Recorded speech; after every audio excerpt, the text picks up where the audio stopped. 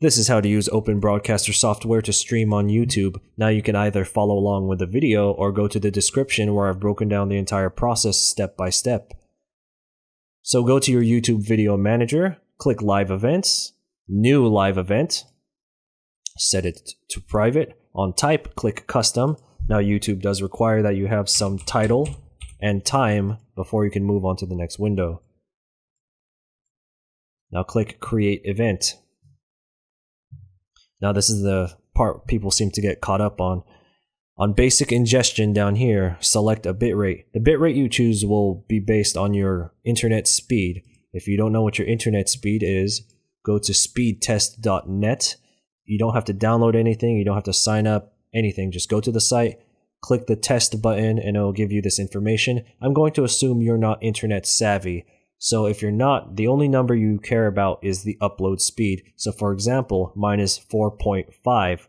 Now take that upload speed, go to this graph. I have a link to this website in the description. Match your upload speed with upload speed in the graphs. For example, mine's about four and a half. I'm going to fall somewhere in here between 1,000, 15 to 2,000. So for me, I'm going to choose 2,000 since I, I have a decent internet connection. You can take that video bitrate, which is 2000, select bitrate. So I fall somewhere between streaming at 720 and 480. I have streamed at 720 steadily, but for the sake of this video, I'm going to stream at 480. Once you click that, you'll see some more options pop up. Make sure that your select your encoder option is on other encoders. Now move over to your OBS settings, encoding, here on your max bitrate options, make sure that matches the bitrate that you've chosen from the graph. So for example, I chose 2000, I typed in 2000, click apply, move down to broadcaster settings, mode should be in live stream, streaming service should be YouTube, this next one should be primary YouTube ingest server, whatever you have typed here in playpath slash stream key, delete it. Now go back to YouTube, under stream name, highlight, copy, and paste that in there. Apply.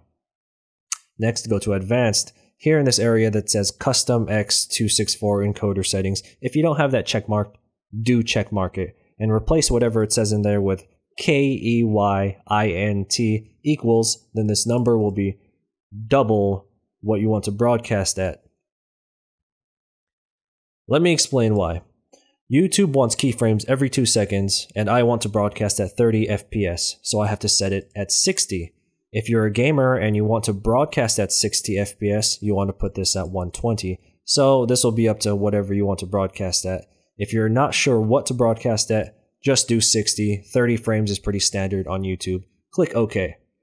Now you can set up your scene. If you don't know how to do that, just play around with OBS to get familiar with the software click preview stream. This is exactly what people are going to see when you start streaming. Now, when you have that all good to go, hit stop preview, go back over to YouTube, click the live control room tab. Up here, it will say we are not receiving data from your encoder. In order to change that, you want to hit start streaming. Once you hit start streaming, the stream status, no data will change. Give it a few seconds. And don't worry, this is not going to start feeding anything to your subscribers. They won't see anything yet because the video is still set on private. The stream status is changed to good and it's streaming at 480. And just as a note, this area that says the health is good, that's kind of like a life bar for your live stream. If you start dropping frames or you have any other issues, it will tell you in real time here in this area. So next you want to hit preview, give it a few seconds, YouTube will start getting information from OBS. Now, this part can be a little iffy. This window that says preview, click play here. Now, you should be able to see everything here that you're recording with OBS here. Sometimes YouTube isn't able to load this. I don't know what's wrong with it. It just, oh, okay. Well, it worked this time. Lucky us. Now, public view, since you have the video set on private, this almost doesn't matter right now. So you want to go back up, hit start streaming. Okay. There, now you are live. But because you're still on private, they can't see anything. So go back to info and settings, click public. Once you hit publish here, then it will go into your subscribers' subscription feed. So go back to the, the live control room and to make sure that everything is good to go in the public view where it had the countdown before, click play and they should be seeing what you're sending out with OBS. Now to make sure again, you can actually go to the actual live stream page, the view page where the, the chat is. And there, now you're streaming on YouTube with OBS. I tried to make this as quick and concise as I can without fluff. I hope you found it helpful. Let me know if you liked it or not. Thanks for watching. I'll talk to you next time.